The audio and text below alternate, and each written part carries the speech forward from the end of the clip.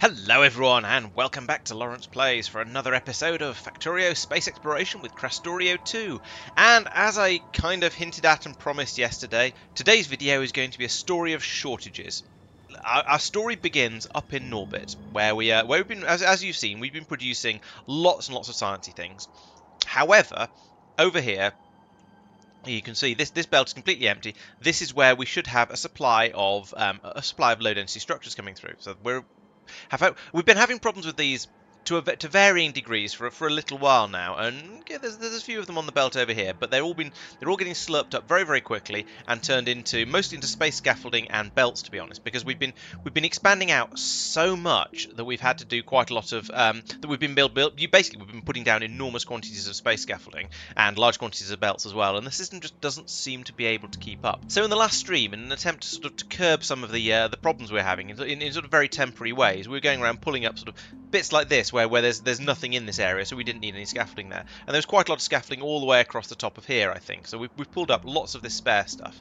Um, we've sacrificed bits from areas where it's not really needed, like across the middle of here, and so on. So and, but all of these things, they're only very, very short-term fixes. Yes, sure, that'll allow us to get things like I, I, did that because I needed to extend my um, out out this way to put some more radiators in, or to, to, put some more science labs in over here.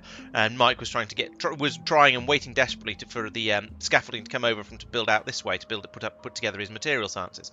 So yeah, scavenging bits and pieces where it's not being used is I mean, it works for a certain amount of time, but very quickly you run out of areas that can be ripped up. Um, actually, there's quite a lot up here. There's quite a bit down here. There, there are a few places where there is some spare still, but in general, you don't really want to go around just cannibalising your own base because eventually you'll you'll um, you'll run out of other people's money to spend, as the uh, as the saying goes. So let's have a, let's have let's have a look and find out why we don't seem to have enough of it. So obviously it's not coming up from Nauvis at the rate we need it to, and if we look down on Nauvis, we can see that well, presumably there's just none on the bus. I, am not sure which belt I'm supposed to be looking at here, but oh no, there is actually there, this this belt. Where where am I on the bus? Interesting. The belt the bus seems to be seems to have plenty of it right now, so I don't know why it's not being shipped up to space.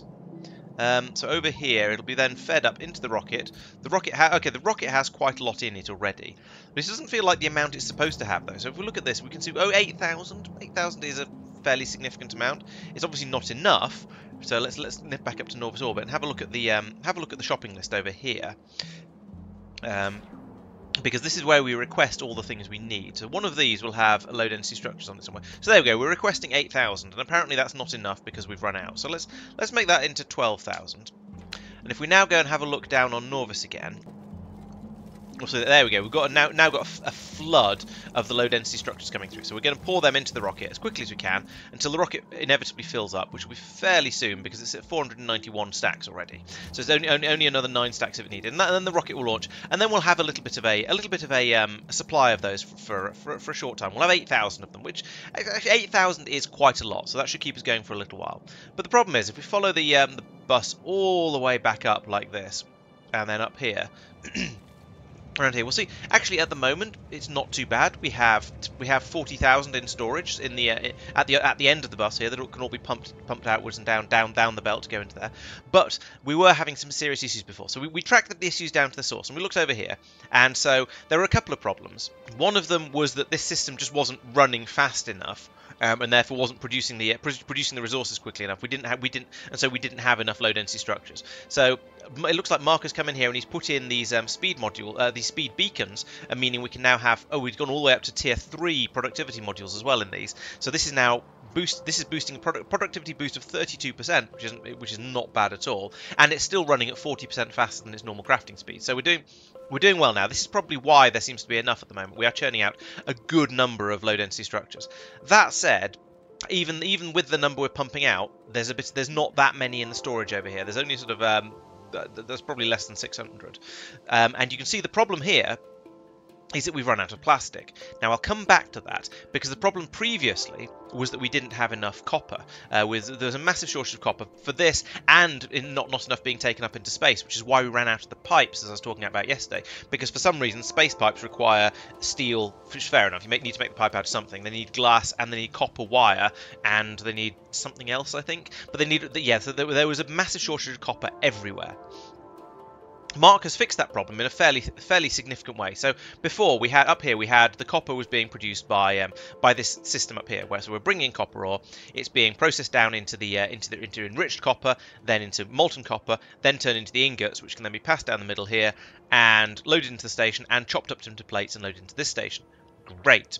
Um, but it wasn't fast enough. That was not that wasn't able to keep up. So through the magic of copy paste, we now have another uh, copper production facility down here that's bringing in copper ore and Vulcan uh, uh, pyroflux and acid and and uh, shipping them all up here where they can then be turned into the in, into enriched, into molten, and into into ingots, which can be brought round here, put into a station, and chopped up into into plates to be put into here. So yeah, this is going well. We now, as you can see, well, we did have the, these were full until the train came in to steal some of it, but that's that's how it works. That's what we expect.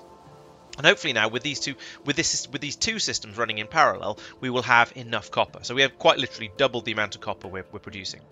The concern now, of course, is whether our copper supply, copper ore supplies, that is the copper that's copper ore that's coming out of the um, uh, the the core chunk processing over here, and also the uh, copper ore that's being dug up out of mines like I can't see it, like uh, like this one and this one, whether they're going to be able to keep up. And currently, it looks like they are. This one is this this station is completely full. There's a train sat there merrily minding its own business. So yes, this seems to be all right at the moment. Part of the reason this is this is going quite well is because Mark has opened up a new copper field. So up here, um, there's four million up here. It's being shoved into the trains up here. So we, have got we've got a bit more of it being brought out. We've, been, we've got a, we've got more copper supply being added in order to help us keep up with the extra demand.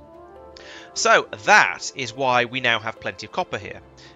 the next problem though is the plastic. So it seems as you can see there's a massive gap in here. The plastic is not being brought in as quickly as it should be. That said there are a couple of plastic trains sitting here which is a little bit odd. It's an odd place to keep them. But the problem is if we look down in the plastic area, so down here, we have we have plastic sort of dribbling through at a rate. We have we have some in storage over here. So once this gets up to having enough for a train to come and pick it up, one of those trains will come down here. Um, so the slightly weird thing about the way this system runs works is that we, we're, we're keeping spare trains here, but they won't go into the station until or the, no, the previous train, this this plastic train, won't leave this station until there's somewhere for it to go to pick up some more plastic, which means this station has to have enough for another train to come to it. It's a slightly odd system. Um, it's one due to the sort of because because we're not using LTN, things are running a little bit strangely, and so you see there you, go, you see a destination full there. So this train isn't going anywhere, even though there's another copper train, uh, another plastic train here that would love to come in and unload its plastic. So we've again, once again, run out. So down here, that means we need, basically, we need to have more plastic coming through. And things are running okay at the moment, but when I looked a few minutes ago, only some of these machines were actually producing the plastic. Um, and that was because we'd run out of coal, of all things. So if you look in here, you see there's, there's only, there's less than 800 coal in each of these warehouses, and a supply of about 1,000 in there because that's how it balances. We've got plenty of oil at the moment, by the looks of it. So 11,000, 10,000, whatever in these is about the point where it starts to request a train. But the main, the main stock, we've still got 200,000 across in these tanks. So we're okay we've got a good supply of oil going at the moment. It seems to be coal that's the problem, so I guess we're going to need to find some new coal patches, set up some new coal mines in order to sort that problem out. Um, he says, having a quick look. Is that one? No, that's just. Oh, yes, half a million there. That's not really going to worth it. Worth it. So there is a coal mine up here, and it is currently loading a train. So that is running. That is working. It's doing what we would expect. We need to find more coal mine, coal patches though, in order to put mining drills on them. Uh, there's approximately none there. It's less than half a million. It's not even worth getting out of bed for. Nice big copper patch there, so we're going to be alright for copper for a little while longer.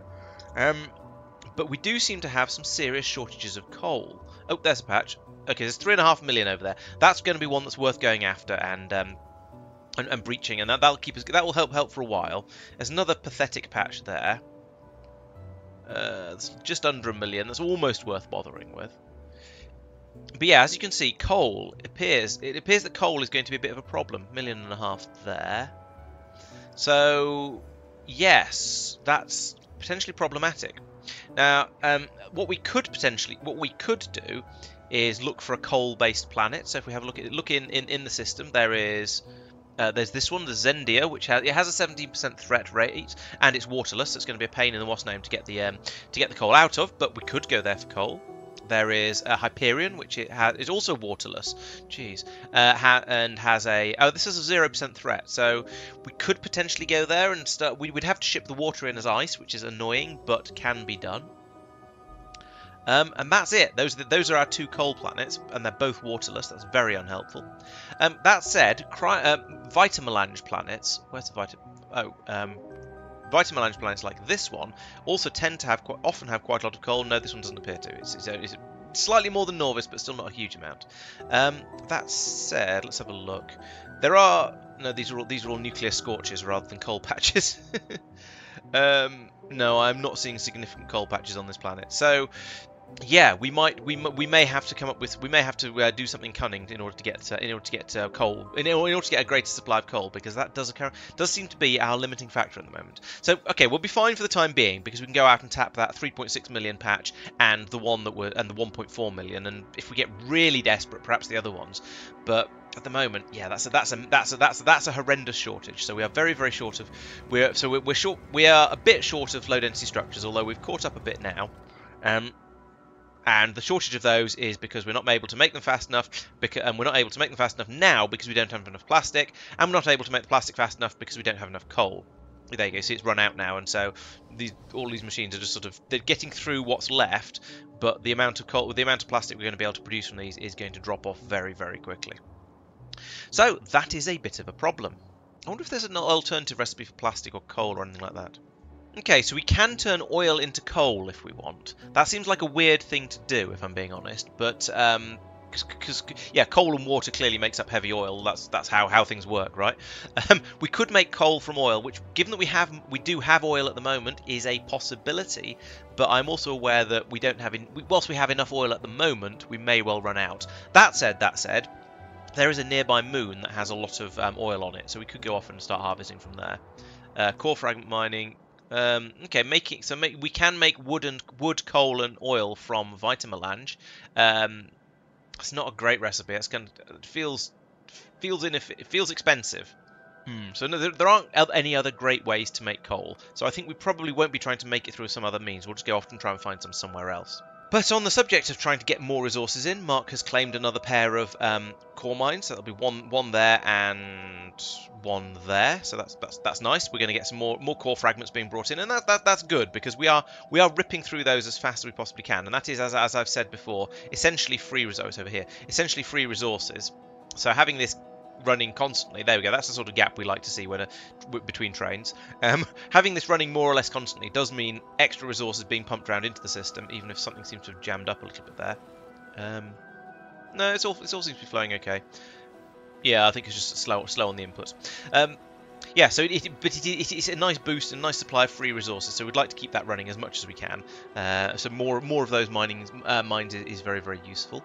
He's also because he's expanded over here. He's now we've now got another um, another pollution belt. Is it? No, it's it's, it's, it's where is it?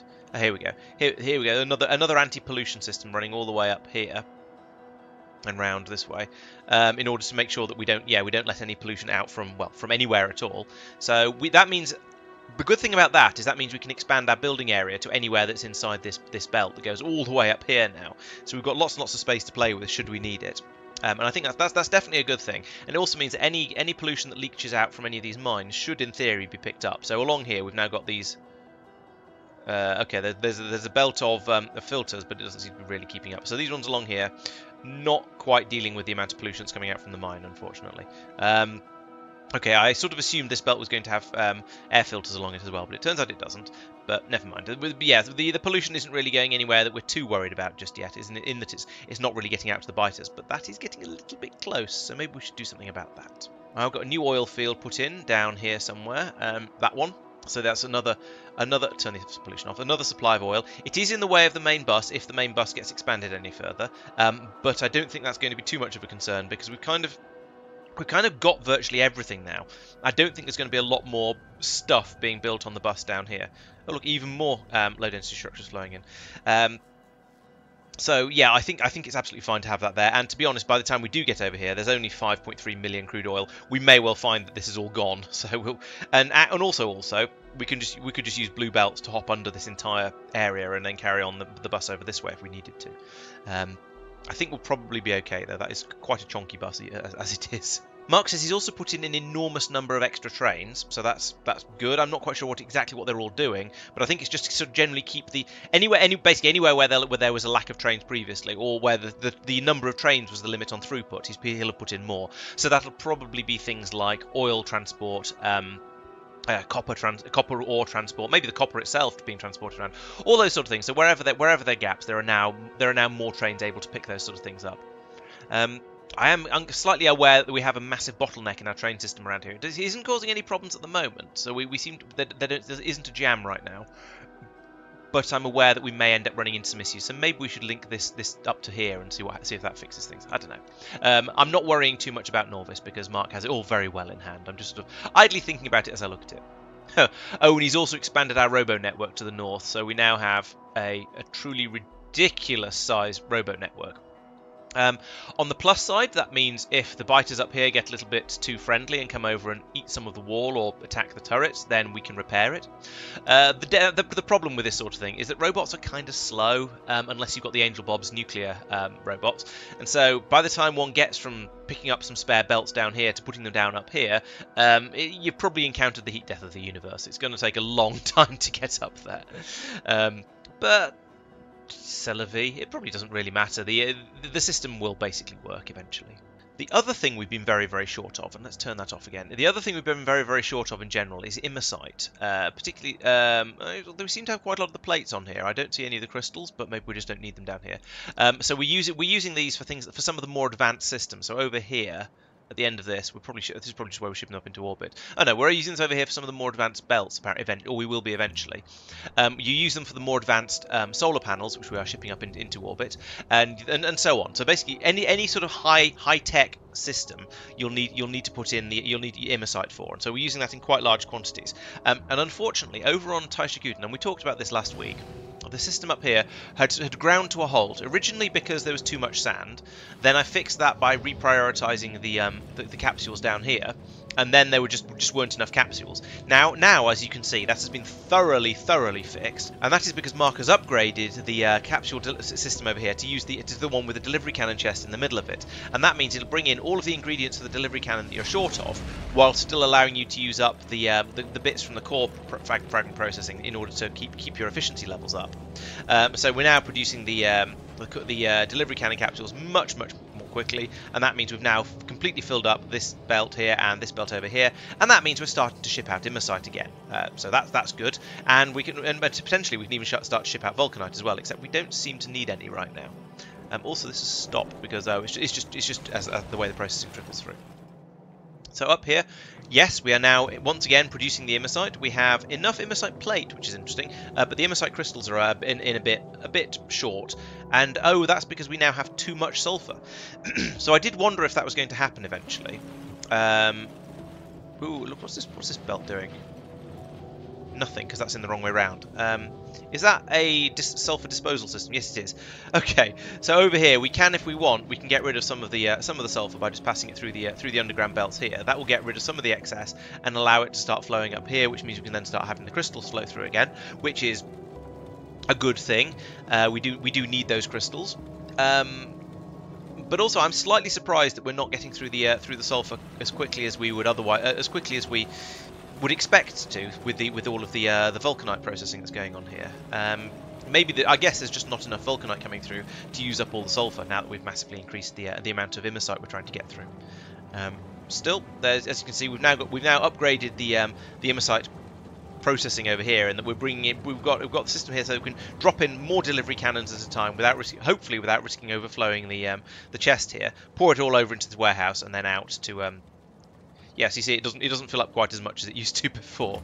Uh, so we can yes, we can then keep that pump, keep keep a decent amount of it here, keep the system running over here. Have we now got um, more thermal uh, mineral water being being brought in here? I'm not not sure. I don't. I don't see any because I was expecting us to go off and mine this patch over here, but apparently we haven't. Um, but the system seems to be keeping up, which is interesting. I'm um, somewhat surprised. Maybe it's because it was stalled for a while. I think we're still if we if we want a good supply of Imersite here, I think we're still going to need to upgrade that. However, we probably don't need to have a, a great supply of Imersite coming from here because once again, uh, Mark has been doing upgrades on things and he's been doing producing a separate Imersite processing facility that I believe he's going to put in place on uh, on Nauvis, which is going to bring, allow him to bring in lots and lots of Imersite from all the other planets that are producing it, and then have all of the sulfur and the and the Imersite and everything available on Nauvis, where where it can then be shipped out to where it's needed. So this system may end up getting kind of mothballed, and in fact that's the, sort of the story of how this planet is going. Because the, um, the, the the Vulcanite system over here is now just sort of almost an afterthought because the um, we're using up we're producing far more vulcanite on Agnea than we are here. And now if we're going to be producing the Imersite somewhere as well else as well then this planet's going to be kind of kind of unnecessary. I wonder if we can delete can, can we actually delete planets? No. Game says no so we're just gonna, we're just going to be stuck with this. We could trim it, which will help a very very small amount with the save game size, but short of, but um, yeah, it's not gonna it's not gonna actually it's not gonna actually get us our UPS back, which is what I was hoping for. Potentially, we could eliminate this free power system down here and replace it with the, with solar and uh, and a steam battery because that's one of the other plans we've got going. Um, but we'll leave that for the future, I think, one planet at a time. Finally, the, the, the very last thing to mention, and this is, is, a little bit of a and then out on Njord, Tristan's put down an additional core miner in place, um, and and uh, in order to get up, upgrade the systems out there slightly. So that brings us pretty much to the end of the video. Um, I can now tell you with um, with uh, with some with uh, either joy or disappointment, depending on how you look at it, that we didn't have any deaths at all in the last stream. Probably because all of us are up in space, where we don't tend to be launching nukes and we don't tend to be um, getting eaten by biters. Actually, that's not quite true. We're not all in space. Mark is down on Nauvis, but Nauvis is reasonably pacified at this point, and the stuff he was working on is not sort of is not the sort of stuff where you'd expect to come under threat. So, uh, yes, and a surprisingly safe stream. So, um, but that brings us to the end. So please check out the channel sponsor. That's treefoil.be. Use the code Laurence Plays to get 20% off your game hosting services. Um, and also, please come back uh, ooh, on Monday to watch us carrying on with another stream. That'll be 7.30pm UK time. Uh, so we'll be carrying on with all of the stuff I've been talking about today, trying to get everything working up again. Uh, and then on Wednesday, I'll be back playing some more XCOM. So again, please come along to that. Lots of, I always have lots of, lots of fun there, even if it's usually sort of uh, trying only laughing because otherwise we'd cry. And there'll be other videos scattered here and here and there around on the on the channel as uh, over the over the days to come as well. So as always, thank you very much for watching, and I shall see you next time. Bye bye.